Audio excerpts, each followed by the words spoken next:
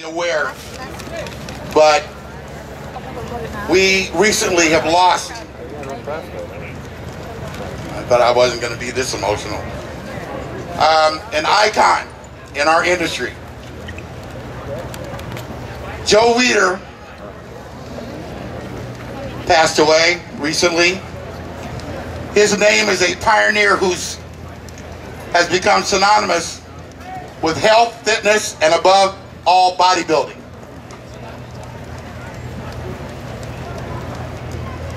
Joe Weider was born into a world where bodybuilding, as we know it, did not exist.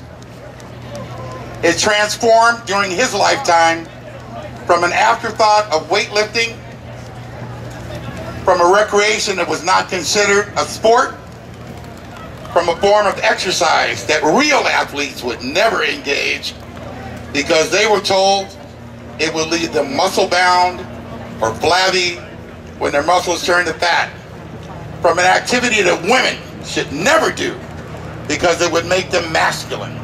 It transformed into what our sport has now become the centerpiece of physical culture and one form of exercise that all athletes, runners, ball players, fighters, swimmers, triathletes, you name it, agree is the cornerstone of their fitness routine. The one truly international sport, and it transformed into all of this because of Joe Weider.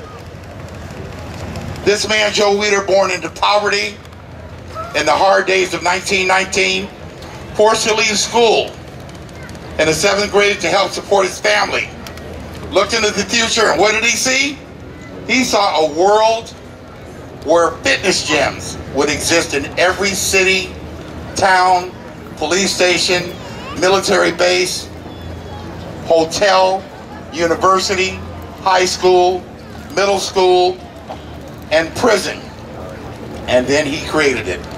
He looked into the future and saw the ignorance and misinformation and stubbornness of the medical community and educators and experts washed away by the truth about exercise, proper nutrition, and resistance training.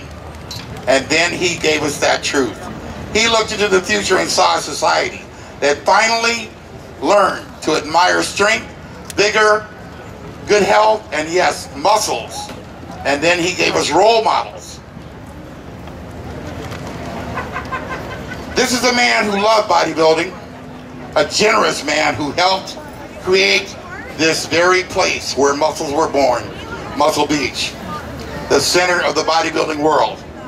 In fact, ladies and gentlemen, the very seats that you are sitting in two years ago was, were donated by Joe and Betty Weider.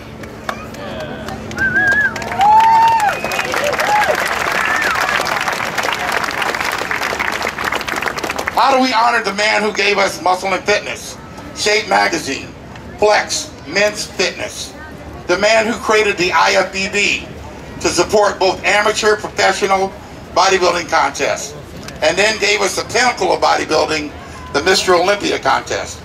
The man who introduced to us and made household names of Larry Scott, Lee Haney, Reg Park, Lou Ferrigno, Franco Columbu, and Arnold Schwarzenegger.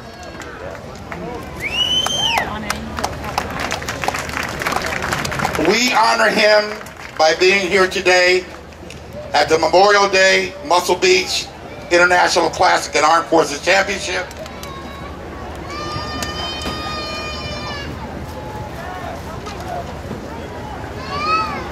Now, join me in welcoming, welcoming his bride, the First Lady of Bodybuilding and Fitness, Mrs. Joe Weider, Betty Weider.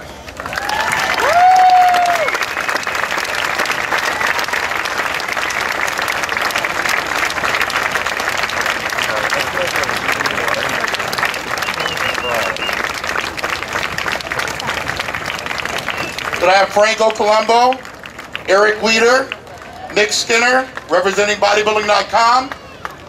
Join Betty on stage. Oh, Ben. and Eddie Giuliani representing Iron Man Magazine.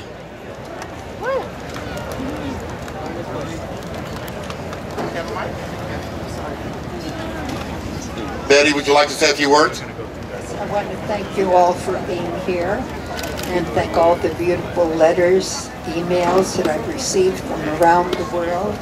Thousands of them. Why, I don't have this on? Uh, and beautiful things you said about Joe and how meaningful he was and how he, most importantly, he changed the lives, your lives. And he, he not just bodybuilding, but people in all aspects of doctors, teachers, attorneys, how through bodybuilding they learned discipline, how he inspired them in his magazines.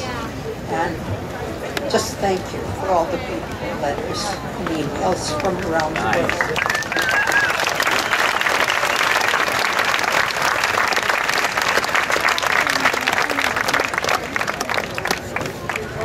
I don't have much to add. If Joe was here, he would say, let's get on with the show already.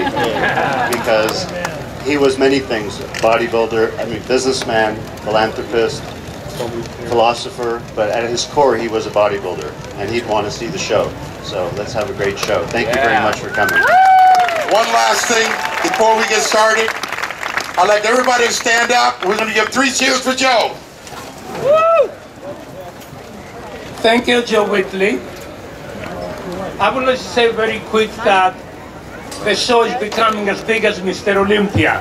Thanks to you, Joe. Thank you.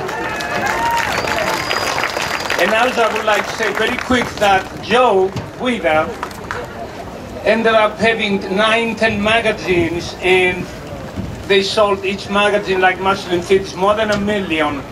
And one time Betty got this great idea about uh, about Shape magazine, and Shape magazine became so big there was a big magazine in the United States. Thank you, Becky.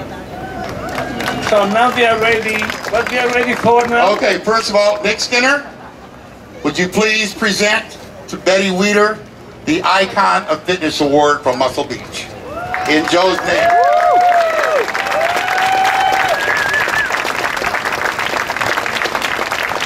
Now, Eddie, don't miss your cue. Three cheers for Joe. Hip hip. Hooray! Hip hip. Hooray! Eddie. Hip hip. Hooray! You?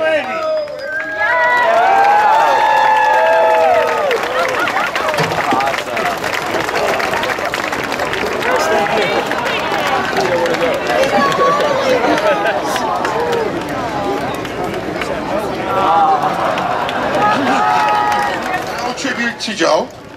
One of his favorite instruments in the world was a bagpipe. And we have one of the best in the industry today, Mr. Eric Wiegler, performing.